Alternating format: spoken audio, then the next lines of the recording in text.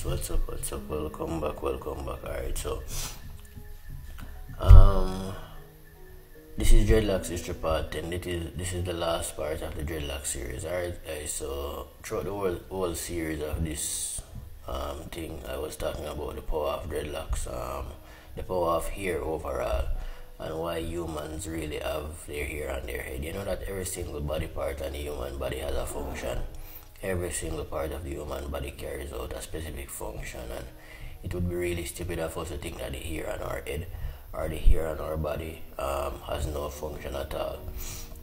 The only reason why we tend to cut it off in this day and mistreat our hair on our body is because we, we feel no pain when the hair is being removed. We feel no pain, you know. So I guess humans think that oh, because I feel no pain, that means the hair is useless. No, the hair is not useless. The hair is not dead cells here is actually one of the most important things on the body, believe it or not. And I was talking about the power of regeneration. So for the fact that hair regenerates, the body will never stop producing hair no matter how much time you cut it off.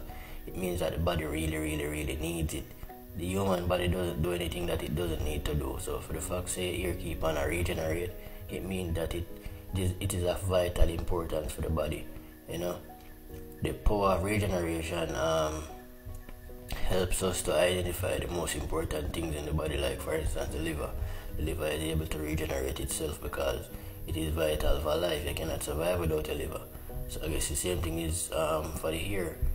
Guys, physical health is not the, whole, the only health, and if you're only physically healthy, you're not really healthy. So growing out your ear helps to balance out your nervous system, balance out your spiritual sides of life to a side that you cannot see, the unseen. So and you are governed by the unseen, the spirit world, the astral, all of those things that you cannot see are still governed by them. So you still need to get a connection.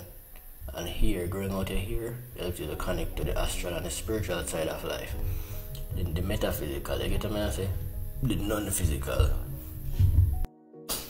Growing out the ear on your body, guys, helps to helps to rid the body of toxins. In this time, we are consuming a lot, uh, we are consuming a lot of toxins in our food you know the food is full of toxins guys. Even the water is you know has toxins in it.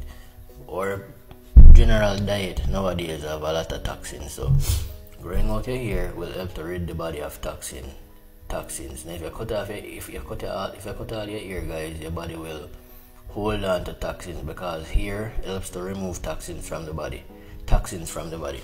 So for instance your arm hair them them help remove toxins from like the chest area and them type of place there, wherever toxins stored, you know. And ear is connected to each chakra point too. I'm gonna um talk about that in a in a video soon, but here helps rid the body of toxins. And here on the head it still does the same thing, you know. Have a lot of uh, today guys may I tell you enough I wanna realize it's not just with stomach alone and all of our body, our body we store toxins, we also store toxins in our brain the heavy metals and them type of thing they can be stored in our brain. So if you don't have the ear what is gonna help your brain to remove the toxins from the brain? You know, you need you need the ear aid to actually do that to remove toxins from the brain. That's why enough of it they can't think right, you know, and you have to watch where you put in your scalp too. Because your scalp will absorb whatever you put in it and you're gonna go straight to your brain. So that's why you have to, you know, just watch what kind of oils and stuff. Watch what you're putting on your your scalp watch what you're putting on your skin overall you know because your skin is gonna absorb it and then your nervous system gonna get it. You know you're gonna go straight to the nerves to the brain. You know and that's where you know you're gonna function you're gonna mess up your whole perception of life. Once your nervous system is attacked and damaged you're gonna mess up your whole perception of life guys. You're gonna affect the way how you make money you're gonna affect the way how you believe in yourself it's gonna affect the way how you're motivated for actually reach your goals, it's gonna affect a lot of things. I tell you in a very negative way too. So yeah.